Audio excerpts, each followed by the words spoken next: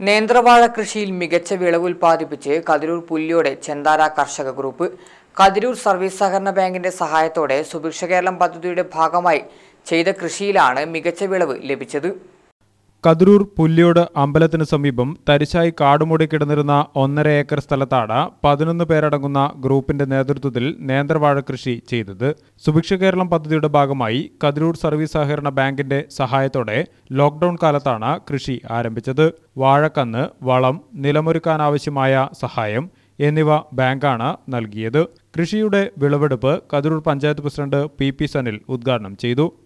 വ്യത്യസ്ത പ്രവർത്തനങ്ങളുടെ തുടർച്ച എന്ന നിലയിലാണ് സഹകരണ സ്ഥാപനങ്ങളുടെ സഹായത്തോടുകൂടി പഞ്ചായത്തുകളുടെ സഹായത്തോടുകൂടി സുഭിക്ഷ കേരളം എന്നുള്ള ഒരു പ്രത്യേക പദ്ധതി നടപ്പിലാക്കാൻ വേണ്ടി തീരുമാനിച്ചത് നമ്മൾ കതിരൂർ പഞ്ചായത്തിനകത്ത് കതിരൂർ സർവീസ് സഹകരണ ബാങ്ക് ഈ പ്രവർത്തനത്തിൽ കാണിച്ചിട്ടുള്ള മാതൃക.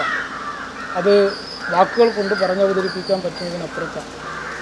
അത്രമാത്രം വലിയ ഇടപെടലാണ് നെൽകൃഷിയുടെ കാര്യത്തിലും വാഴക്കൃഷിയുടെ കാര്യത്തിലും മറ്റ് പച്ചക്കറി ഉൽപ്പാദനത്തിന്റെ കാര്യത്തിലെല്ലാം കതിരൂർ സർവീസ് സഹകരണ ബാങ്കിന്റെ ഭാഗത്തു നിന്ന് വലിയ ഇടപെടലാണ് ഉണ്ടായത്. ബാങ്ക് പ്രസിഡന്റ് ശ്രീജിത്ത് ചോയൻ അധ്യക്ഷനായി കെ അശോകൻ രാജീവൻ ചാത്തോത്ത് തുടങ്ങിയവർ സംസാരിച്ചു. ബാങ്കിന്റെ സഹായത്തോടെ കതിരൂർ പിണറായി എരഞ്ഞോളി എന്നീ പഞ്ചായത്തുകളിലെ പതിനാറ് കർഷക ഗ്രൂപ്പുകൾ ഇരുപത്തിയഞ്ച് ഏക്കർ നെൽകൃഷി ഉൾപ്പെടെ മുപ്പത്തിയേഴ് ഏക്കർ സ്ഥലത്ത് നേന്ത്രവാഴ മരച്ചീനി പച്ചക്കറി തുടങ്ങിയവ കൃഷി ചെയ്തിരുന്നു. നേന്ത്രവാഴ കൃഷിയിൽ നിന്നും മികച്ച വിളവ് ലഭിച്ച സാഹചര്യത്തിൽ ബാങ്കിന്റെ നേതൃത്വത്തിൽ ചിപ്സ് നിർമ്മാണ യൂണിറ്റ് ഉടൻ ആരംഭിക്കും. ഗ്രാമിക ന്യൂസ് കൂത്തുപറമ്പ്.